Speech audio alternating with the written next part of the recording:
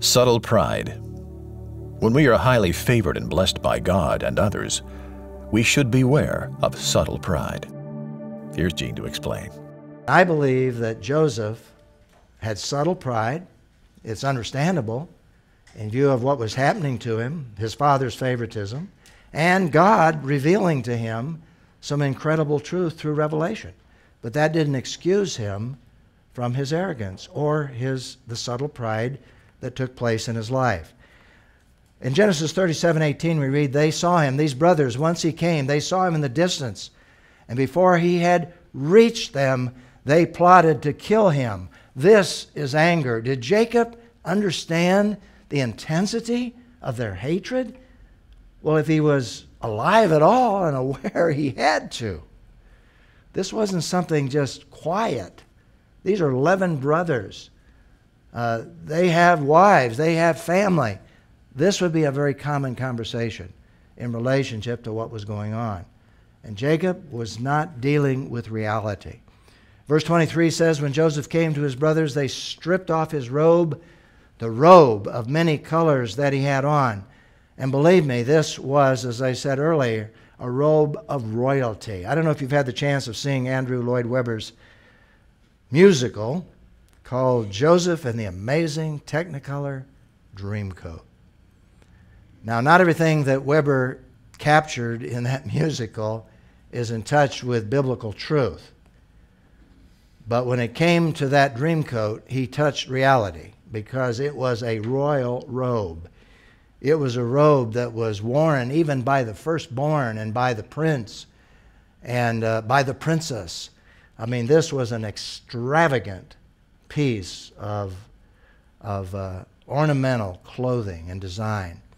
So they couldn't miss it. Jacob couldn't miss it. He designed it. Don't know whether he made it, but he certainly designed it.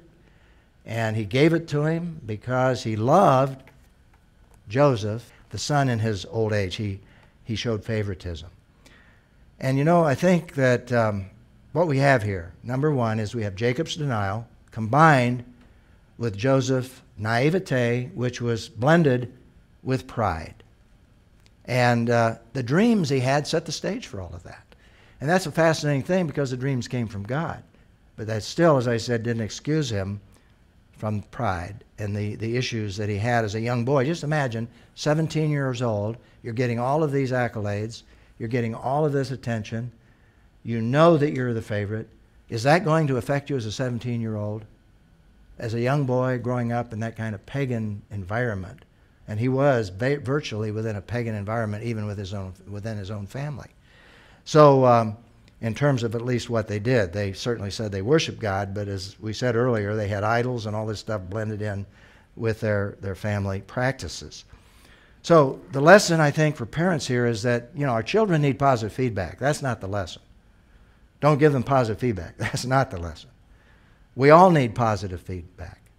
And we should not withhold praise. And that's another issue. You withhold praise from a child, and you will create a thirst for praise. It's an interesting dynamic. If you say, I'm going to keep my child from becoming proud by withholding praise, you will create pride. You will create a desire for it. It's a dynamic you can see happening. So that's not the lesson. We all need positive feedback, but we need balance here in our lives in relationship to what God says should happen in our lives. Romans 12, 3. For by the grace given to me, I tell everyone among you not to think of himself more highly than he should think. Now, we shouldn't think less of ourselves than we should think because we're created in the image of God. We are kings and priests and sons of the living God. And Jesus is not only our Savior, but our elder brother, as it were. We're not to think of ourselves more highly than we should think.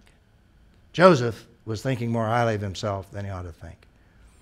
And certainly, Joseph or Jacob was thinking more highly of his son than he should think, at least in giving him positive feedback in the wrong way. Instead, Paul says, think sensibly as God has distributed a measure of faith to each one of us. We must all beware of, of subtle pride. The principle that comes out of that from the New Testament is a servant's heart. In order to live in God's will, we're to humbly serve one another within the body of Jesus Christ. We are servants of one another. And being servants of one another, that eliminates pride. The great model there is Jesus Christ.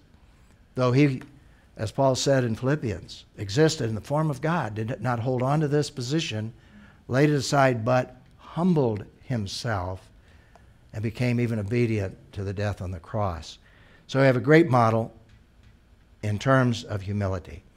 The question is, as parents, what are some of the practical steps we can take to build self esteem in our children without causing them to be self centered and prideful? And I think we need to look at those practical steps. Let me just give you one illustration which helps you at least understand how I tried to practice this. Didn't always practice it as I should.